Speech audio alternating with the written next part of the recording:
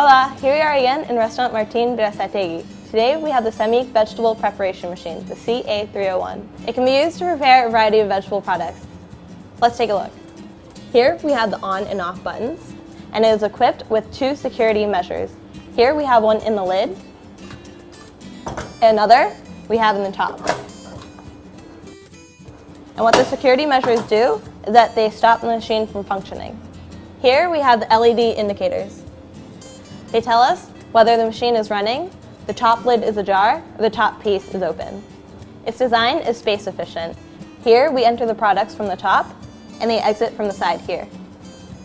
Machine uses a variety of discs and grids. Grids are always accompanied by discs, otherwise the machine does not run. With the different combinations of discs and grids, we can produce over 70 different cuts of vegetables, from sliced tomatoes at 2 millimeters thin to large diced potatoes at 25 millimeters. There are two ways to insert the products.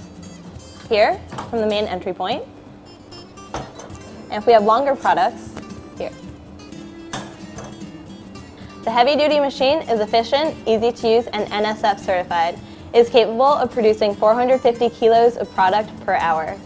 It is also very easy to clean. The top part is removable, and the exterior can be cleaned as so, and the interior can also be disassembled and cleaned in the sink.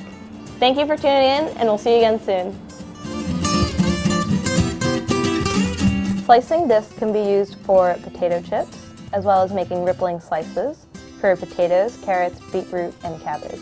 Chipping grids, combined with slicing discs, can be used to make french fries. Dicing grids and slicing discs can be combined to make potatoes for omelets, vegetables, and fruits. Curved slicing discs can be used to slice tomatoes, oranges, lemons, bananas, apples, and more. They are specially designed for soft products. Julienne discs are used for french fries, strips, or batons of potato, carrot, celery, and beetroot. The shredding discs can be used for vegetables, cheese, bread, nuts, almonds, and more. And lastly, we can use the grating discs for bread, hard cheeses, and chocolate.